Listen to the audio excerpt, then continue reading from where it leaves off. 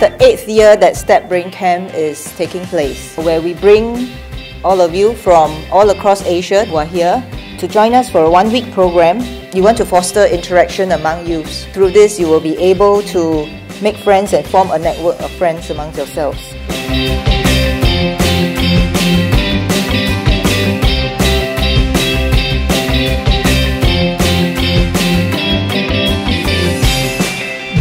Able to attend lectures by experts in this field, it just made the entire process of learning about neuroscience more insightful and more interactive as we got a chance to speak to them personally. When we had breaks, we got to interact with them, ask them our own questions, and learn much more about neuroscience in general.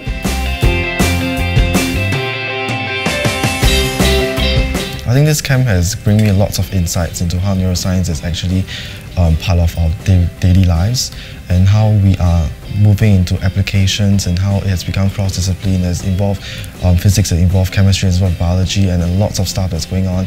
And I believe as younger generations like me, we, it inspired me to be more interested and be more passionate or it has like fire up my passion in neuroscience area.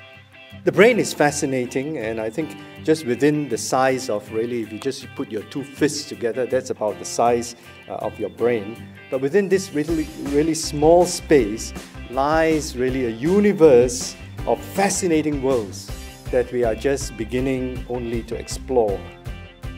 And you can appreciate this structure, it's still there, so it's an interpolated scene.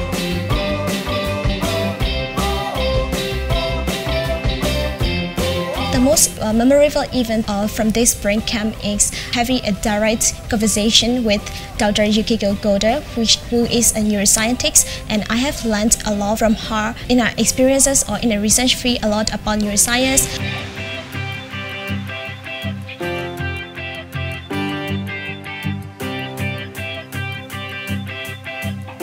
My favorite part of the program was the lecture on feeding by Dr. Fu. I've learned that we have to balance our eating daily to make sure that you're not getting fat or getting thin. As soon as I entered in the workshop, I was thrilled to see illusions because that's something that's always shocked me and left me astounded. I took part in a workshop racing with EMGs and it used the electrical signals uh, that we use uh, incorporation of our masses to move the cars. I think that it was really fascinating.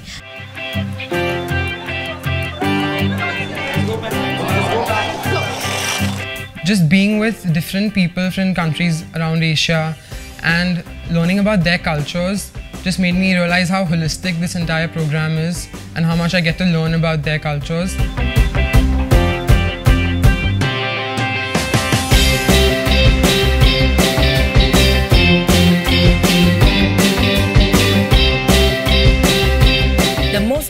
Memorable experience in this camp was in Garden by the Bay because it is my first time to be united with other region and also to make friends with each other.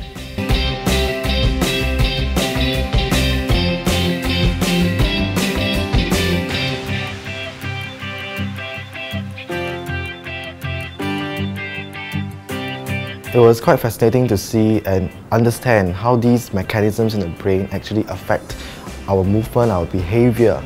And so it is something that I haven't really learned before and I just thought that it was a fun thing. So now I've gone deeper into it.